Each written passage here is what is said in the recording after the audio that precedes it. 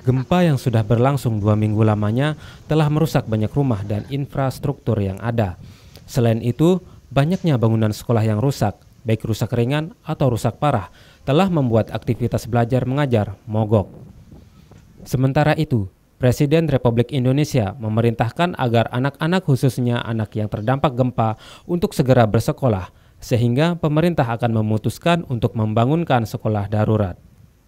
Hal ini disampaikan oleh Kepala Badan Nasional Penanggulangan Bencana BNPB Willem Rampangilei bahwa pemerintah akan segera membangun sekolah-sekolah darurat untuk anak-anak terdampak gempa ini.